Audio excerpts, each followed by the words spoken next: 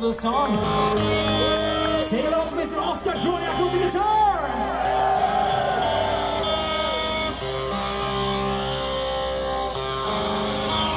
I want to see some serious headbanging now on this one, people.